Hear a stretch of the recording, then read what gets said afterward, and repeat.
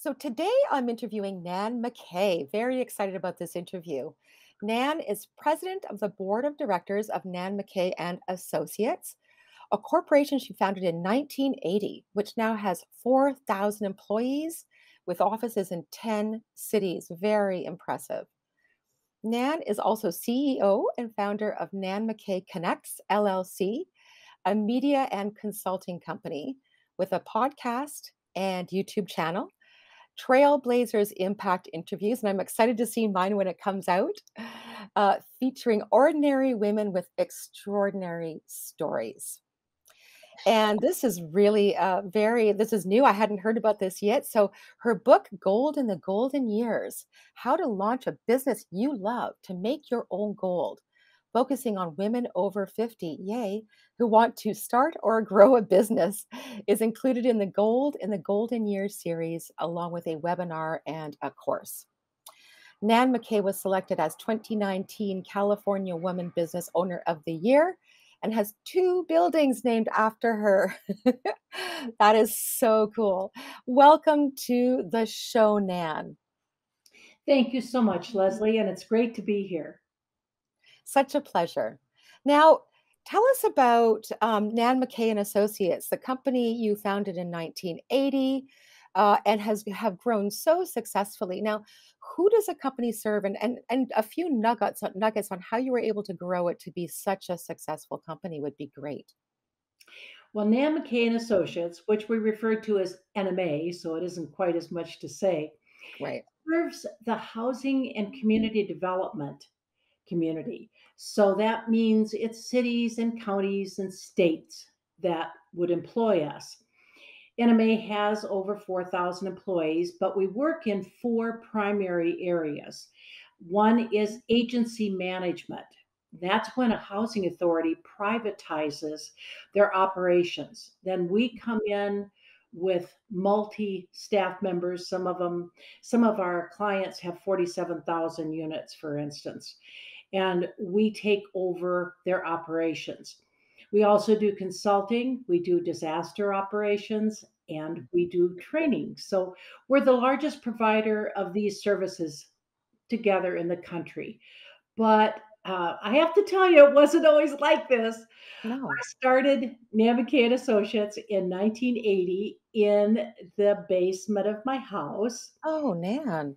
I was on the phone scheduling hotels and meals, typically in my nightgown at 5 a.m. I didn't get dressed until later in the day, but they couldn't see me, so why not? uh, I wrote courses, I wrote books, I wrote training materials, and the big thing was I had to travel in order to do all this. So mm-hmm. I traveled about 40 weeks a year for about 30 years. Oh my goodness. And, uh, that's a lot of travel. I missed a lot of birthdays and school events. And yeah. my husband, Jim, had to learn to cook something other than eggs and omelets. we survived and it's still going today. The I, I was thinking back on the other day on gosh, what was it like back in 1980? And I remember when I started, we typed out 1,000 labels every time we did a mailing. Now, get this on a Selectric typewriter. Now, a lot of people would say, What in the heck is that? But that was what we had to do. Uh, yeah. We marketing flyers and the letters on that same typewriter because mm-hmm. personal computers were really brand new back at that point. Uh, the mm-hmm. first personal computer, I looked this up just to check it out. Came out in 1976, and this was 1980. So we're talking four years, and you know, it's not like a brand new business. I'm going to run out and buy a computer because no, it's a lot of money back at that point, thousands of dollars. Yeah, and they didn't do a heck of a lot either. Like they didn't have the processing power that we have today. Oh, heavens no. No. So a relative got me an employee discount that he could get on an Apple II computer. Oh. But back then, we had no internet, no Microsoft Windows, no Word, no PowerPoint, no cell phones, no projectors, even. So, with this ah. finally getting this computer, we were finally able to print our labels, and that was huge. Right. Huge. So I traveled with to do these seminars with 10 big pre-written flip charts on the Mm. plane until transparencies were finally invented. Oh my goodness. Yep. And then laptops were invented because they weren't invented either. And then we finally went to this glorious thing that we still have today called PowerPoint. That made such a difference. So I would say I would I would characterize those early days as really a, a learning curve with a lot of mistakes along the way, but we made Yeah. it. Yeah. That is a very interesting niche to have gotten into. How did you even recognize that as a niche that you wanted to serve? Well, that's an interesting question because I had worked for housing authorities for 17 years prior to that. Okay. And back in the 1970s, there were very few women that were housing authority directors. Uh-huh. But I I started in 1963 as a secretary needing a job Okay. and no other reason. I didn't know what a housing authority was Right. and then just work my way up through all these years to finally become executive director. And I would think by the back in about the late 70s, I was probably one of five to 10 women executive directors in the whole country. Oh my Nan. So did you did you I mean you must have stories around hurdles that you encountered both in your corporate but also launching your business because really when there's only 5 to 10 of you I can't even imagine what the atmosphere would have been like. So can you tell us about any obstacles that you faced or hurdles that you jumped over or Oh, there were a few. choose Uh, the top 3 or yeah, I think, um, well, back in the 1980s, I was as starting as a woman in business. That was really an anomaly, just like it was to be an executive director of a housing authority. And one of the things that when I started the business, obviously I needed a credit card in the business name. I couldn't even get a credit card for the business in my name. So my husband had to sign for me. No. And then, you know, when I called somebody on the phone, they either thought my name was Dan instead of Nan. I don't think I have a very low voice. Right. Uh, or they thought maybe I was just someone's secretary. So Right. it was an attitude about what are you doing in business? Now, put this in context. I was 38. I had two kids, eight and 10, and a husband who had just left his full time job to do real estate. Oh oh Ah, my goodness. Panic. panic. Yeah. So I cashed, you know, big question is where where does the money come from? Because money is always an issue when you start a business. Yeah. So I cashed out my $10,000 pension plan Okay. and I jumped in. Wow, that's brave. Well, brave it's another word. Now, actually, on that on that question, it really does take bravery to be an entrepreneur, to jump in like that with two feet. Um, and so, do you to what do do you owe your bravery, or is there somebody who inspired you along the way? Well, I don't know as as I said whether you call it bravery or guts or foolhardiness. Yeah. Uh, I think the thing that personally makes a difference as an entrepreneur, and made a difference certainly to me, is I don't know if you've ever heard of the DISC profile, but I am a high D on the DISC profile, which means I'm very task oriented and I can push my way through probably about anything. In fact, I have to constantly temper that high D Uh-huh. by bringing my high I in to soften the me- the message a little bit and talk my way through the obstacle rather than just pu- pushing my way through. Mhm. But I think the bottom line is um, when you're an entrepreneur and you're responsible for everything, you just have to put your head down and keep swinging. Hmm. If you if you ask who was the my the person that maybe influenced this most. You know, I didn't realize this at the time, which is interesting. You know, you look back and you you start realizing things that you had really no idea back at the time. But we had a growing up situation where my dad was killed in a car accident when I was 11. Oh, And we thought we had a lot of money, and turned Mm. out that we did not. He had gambled and he owed everyone in a little town of 3,000 people. Oh. So my mother had to sell the big house and buy another house and go to work.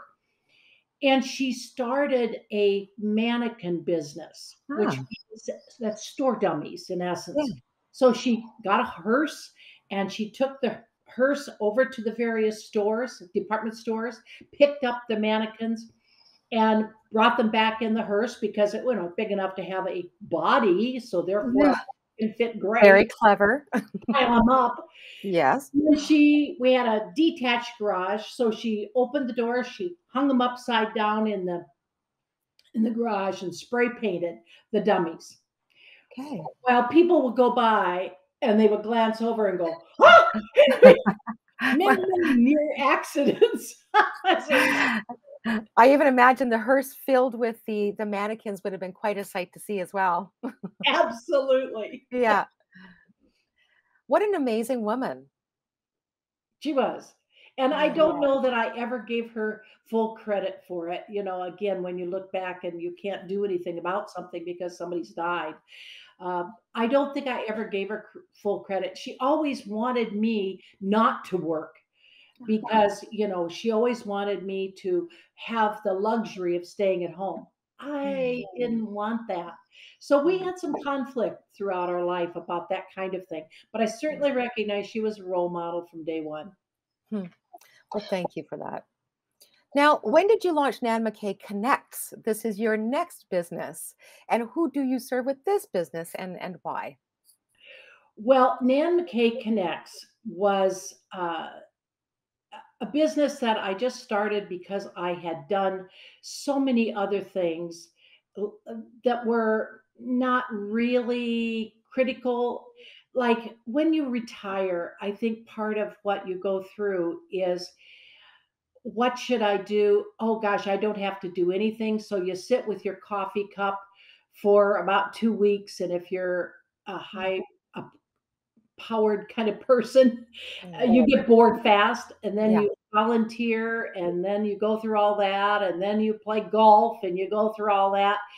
And really, it's, uh, it gets to the point where you say, I want to do something much more important. Now, Hmm. I had started about six businesses when I go back through my career. And I have always been militant, really almost militant about women's rights. Hmm. And when I thought about what else could I do with my life, I decided to find a way to feature women's achievements. Hmm. So I started a podcast called Trailblazers Impact and that focus was interviewing women who had made a difference in empowering themselves and other women in life. Hmm. And I go through all kinds of people from all different walks of life, whether they are an activist or whether they're a, an entrepreneur or whether they're a health professional or an educator. It doesn't matter to me. What matters is that they have made a difference to someone else. Mhm. And is that how you define a trailblazer? Well, I, I would define a trailblazer, I think, as really an ordinary person who has blazed a trail through hardships, probably making it easier and better for the next person. That's Mhm. what it is to me.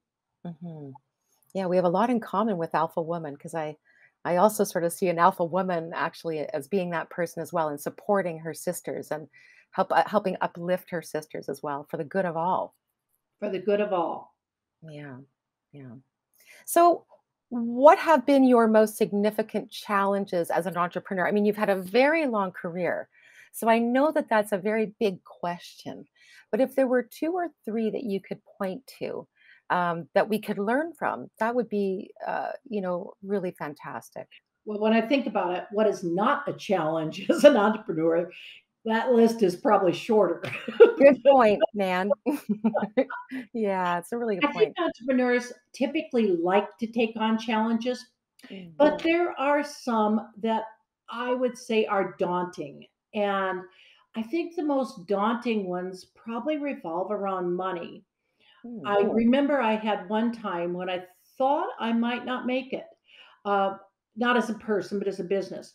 I'd right. Finally hired a general manager, and that's really difficult just to have the money, get the get the business revenue coming in to a point where you can hire that general manager. Very hard. Mhm. But I think I just again, I look back at myself and say, what I always look at myself. What could you have done better? What did you do wrong? And is is this something that's your fault? And I think my my liability there is that I didn't put enough checkpoints in place. Hmm. One morning, she and our contract accountant told me that we were deeply in debt and we owed a lot of people. And I'm like shocked. Yeah. I wondered how could that have happened because it appeared on reports that checks had been written to people. Well, they had, but believe it or not, they were never mailed.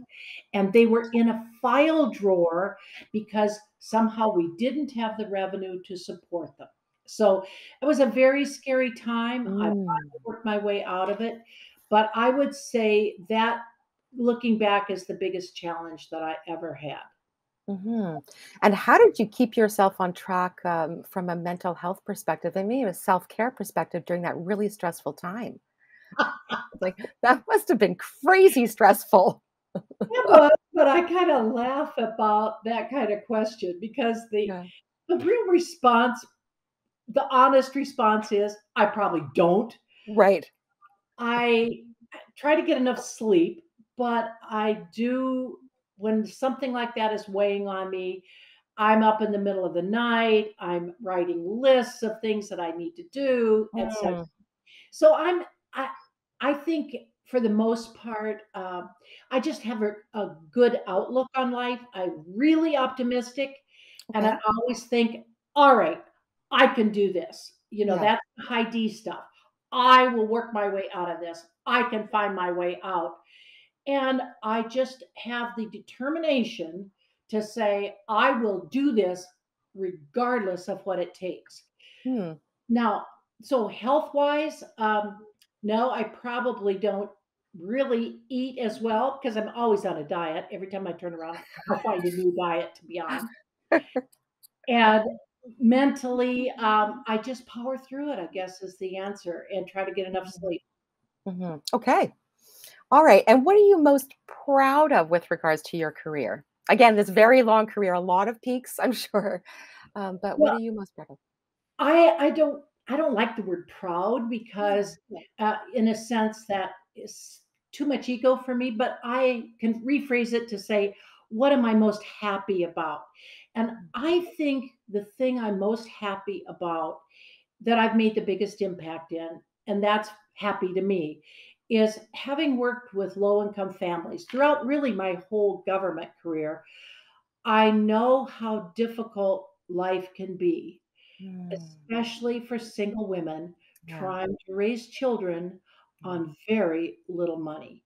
Yeah. So, what I'm happiest about in my government career is being able to put a roof over their heads. To me, that was, Mm, and in my company, my mission was to teach housing authority employees how to do their job fair, right, and with compassion and respect for both families and elderly. So mm, in the business, we helped the people who helped the people, and we mm, never forgot who our ultimate client is at that point. mm. That's beautiful. It's true. Mm. And so, uh, so you've been um, with Nan McKay Connects been a couple years now that since you've launched that business, and of course we've been through a global pandemic. so, how did uh, how has the past year and a half with with COVID impacted your business, if at all? Well, first of all, we let's talk about both businesses because I Yeah. have two hats. Yeah. NMA was actually considered an essential service. So we Ah, never stopped with NMA.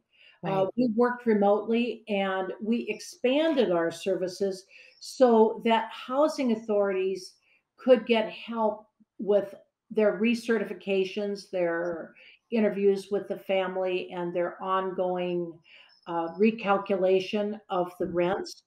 So we gave we worked with them uh, having if they didn't have an automated portal, then we worked with them to give a service for that.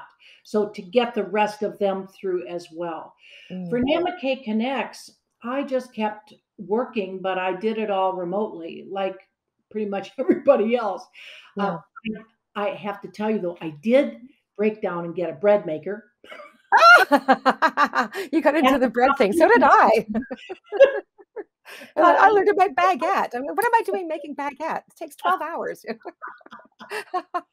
other than that, really did, you know, it was just something that I felt I had to stay home Yeah, and protect both my husband and me.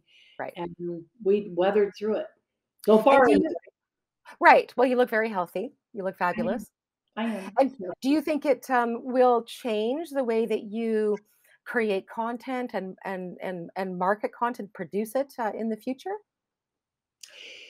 I used to go to conferences, big conferences, and Mm, to women through those conferences. I would find NAWBO and Enterprising Women and Women's Venture Summits and things like that.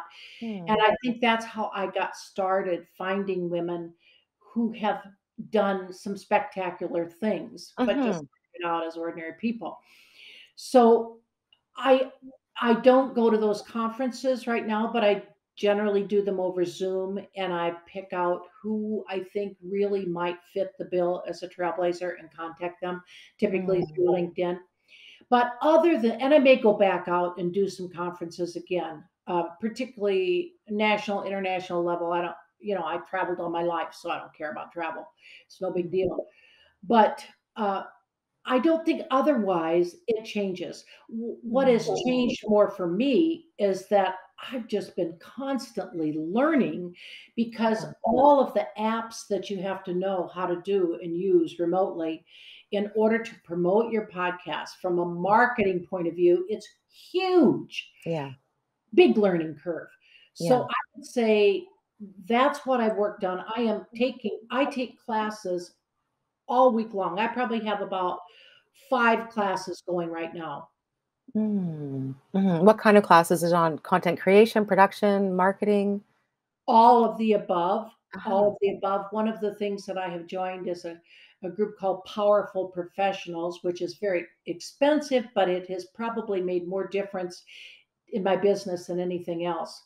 I interviewed Kim Walsh Phillips, who is head of that, and gave her a lot of kudos at the time because I had 4 podcasts going and 4 YouTube channels going.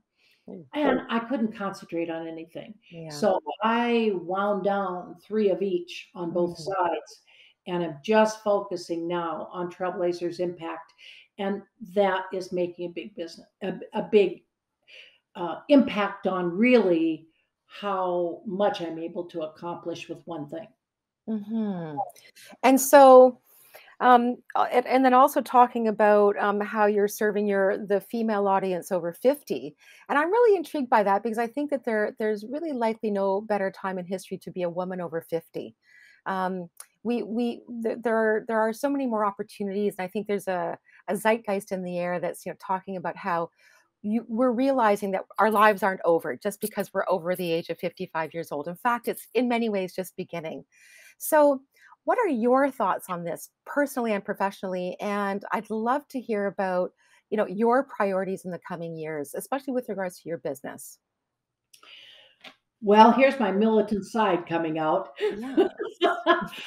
I I do believe there is a revolution in the Ah. country today, and um, I characterize it as we have a new breed of cat in the neighborhood, and that breed of cat reflects itself in career women who have had control over their life. They have been working most of their life, if not all.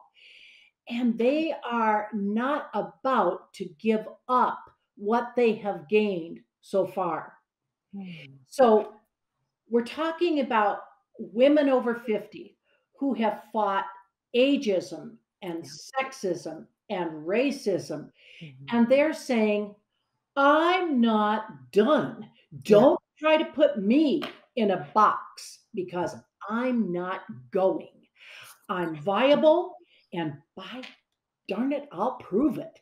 Mm. So, as women age, I've been studying this, and it seems like I would pick four major things that have come to the forefront for for women today. One is they want to continue a productive life.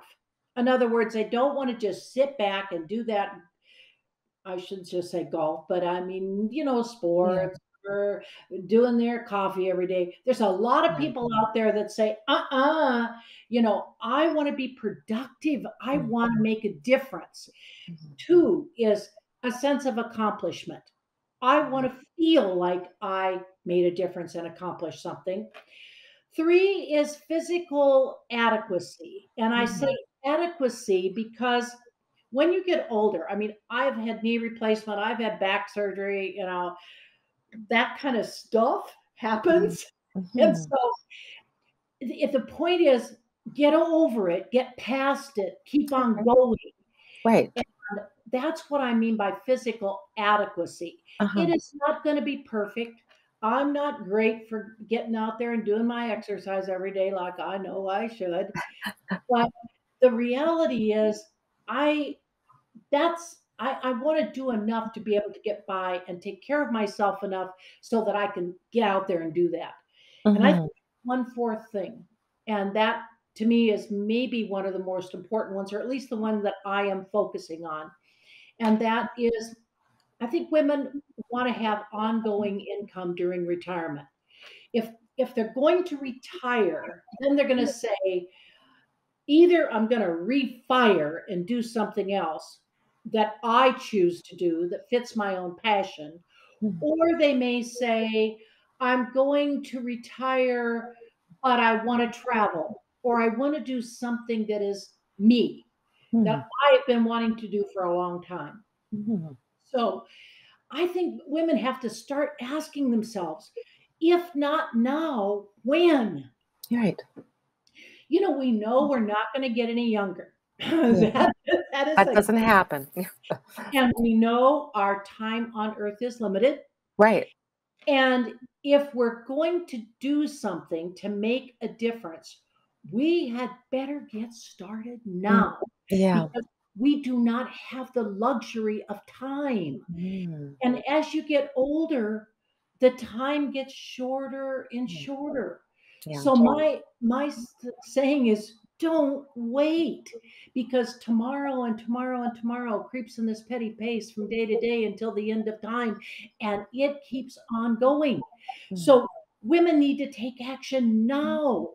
Mm. Do whatever it is that you want and you need to do because the time is going to run out. So my Mhm. own personal priorities is they they are and I guess they've always revolved around work. I'm happy if I'm working. My passion is to help women realize their dreams and thrive. And if Mm. they want to just, you know, have their cup of coffee every day or do what they want to do, I say, fine, do it, no problem. Mhm. But if you want to do something else, then let's figure it out and let's do it. Yeah. Yeah. I love it. That's fantastic. And what characteristics do you believe are needed to be a successful entrepreneur as a mature woman? I'll say mature woman. because I love that word, mature. Because I'm always asking myself, oh, what do I want to be when I grow up? yeah, I Well, I think it Frances Gorman, she I love her. She coined the term um elderess. Oh, as an elderess. I don't even know if I like that term because I still think I'm about 30. 45 or 50. Oh, well, maybe 55, but that's about it. And I'm not. So what are the things? Okay, I'm gonna Maturity is relative, right? yeah, yeah. I'm gonna pick um, 5. Okay. I would say determined, Okay. optimistic, Mm, flexible, because you never know what's coming mm, at you. Curious. That helps me on the interviewing because I am very curious about what tell me about your life. Yeah. And I think the last thing I would say is tenacious. Mhm. You cannot give up even though it seems like that's the best thing to do. Mm. Think again, maybe not.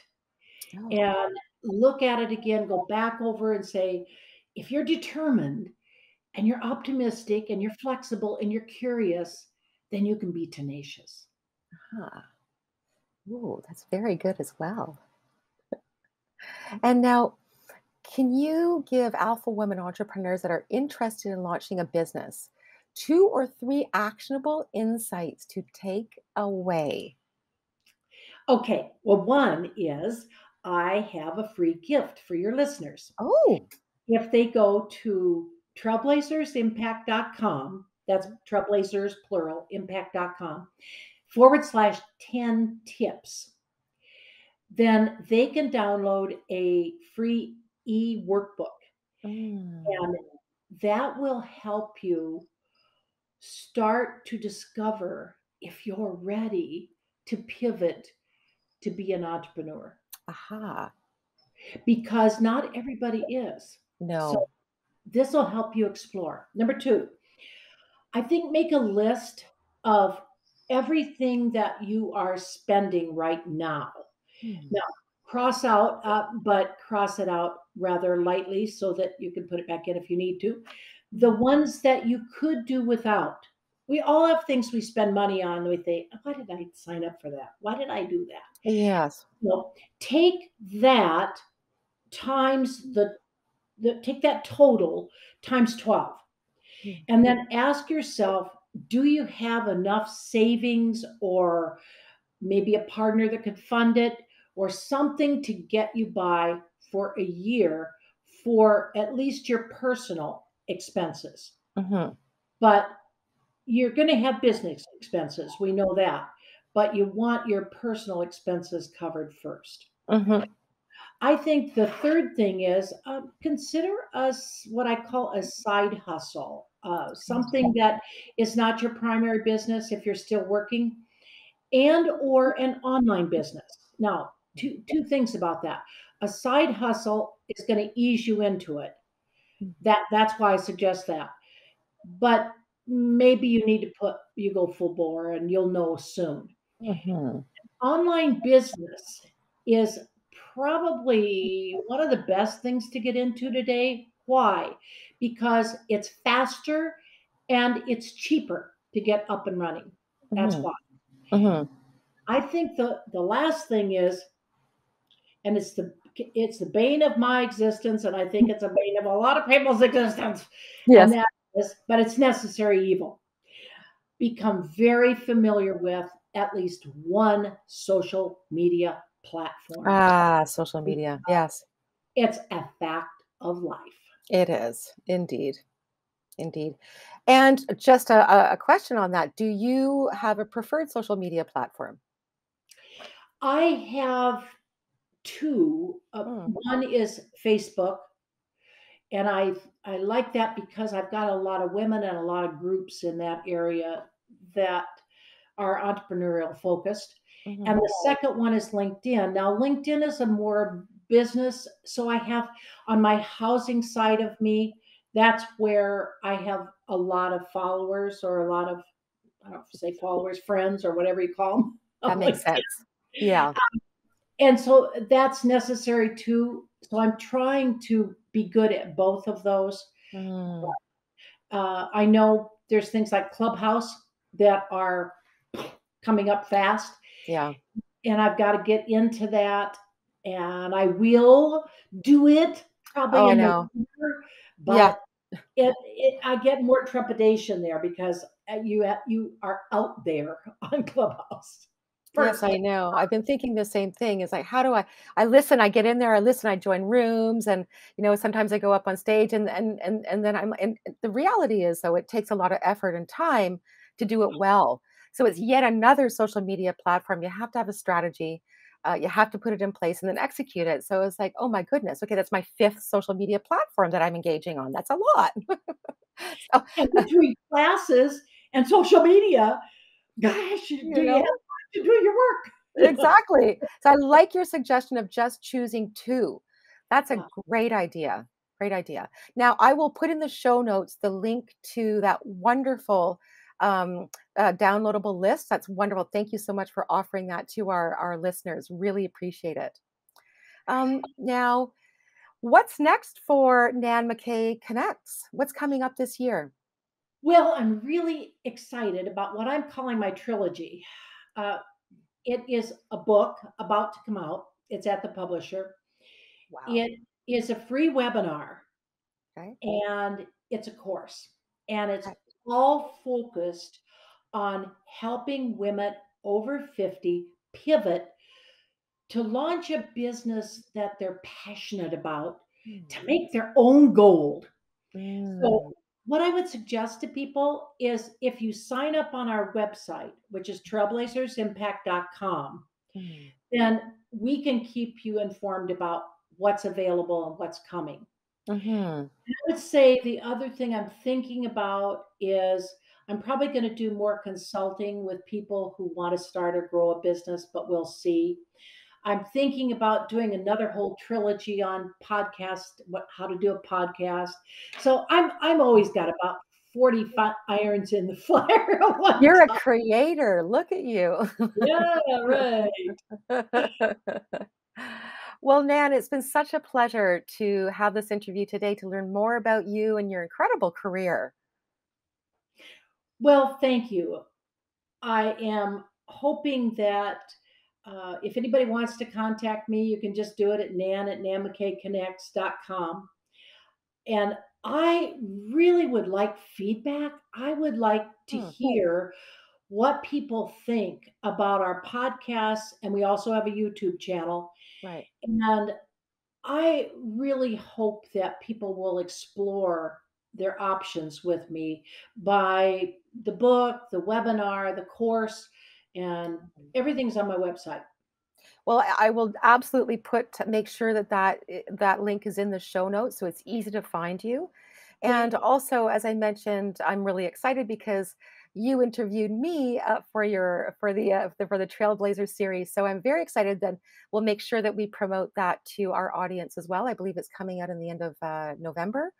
So um, I think is it November or maybe it's end of October. No, I think it's sooner than that. Oh, that's exciting. So, yeah, it's coming up soon. And I should have the exact date. I don't have the exact date, but I will get it for you and you can give it to your all of your followers. Yes, and so they'll have a real experience and uh, figure out more, you know, find out more about what Nan McKay Connects is up to. So, um, yeah, thank you so much for your time today. Well, Leslie, thank you. You know, it's been a lot of fun sharing with you and your audience, but I think you're doing some wonderful things. And it's Thank you. important for all of us out there to do what we can to empower women. It Yeah, is our time and we need to take it. And I agreed. wish you a great ride along the journey as well. Thank you, Nan. Well, I'm sure that we'll be uh, our paths will be following and intersecting along this journey. So, thank you so much. Thank you.